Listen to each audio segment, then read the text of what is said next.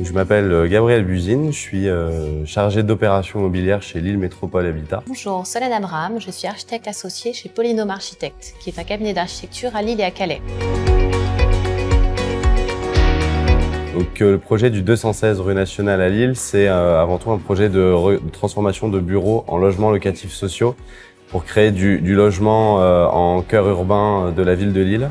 Euh, dans un quartier extrêmement tendu et pauvre en logement locatif. C'est un, un, projet qui vise à, à développer euh, plusieurs innovations et donc euh, tout ça pour but de renforcer la qualité du logement. L'idée est de réaliser une réhabilitation passive du bâtiment au travers d'une euh, réisolation intégrale de l'enveloppe par l'extérieur. Par l'ajout d'un attache supplémentaire, on vient créer une surélévation qui va permettre d'apporter de la lumière solaire, un apport solaire très important dans le bâtiment qui va permettre de, par de parvenir à réaliser cette, cette opération passive.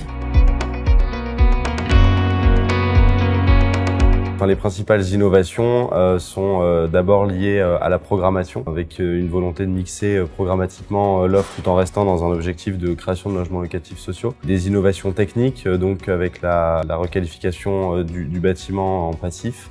Une surélévation, on fait également une densification en cœur d'îlot pour pouvoir créer un petit peu plus de logements. Euh, et, euh, euh, des innovations techniques sur la réutilisation de la ressource en eau au maximum. La principale innovation de ce projet est de réaliser un, une réisolation de l'extérieur de l'enveloppe avec des matériaux biosourcés, du bois, de la paille, de la laine de bois. Alors le logement de demain, c'est euh, un logement qui est euh, géographiquement bien placé. Alors le logement de demain est avant tout un logement évolutif qui doit pouvoir s'adapter aux différents usages que voudront, euh, voudront y installer les locataires.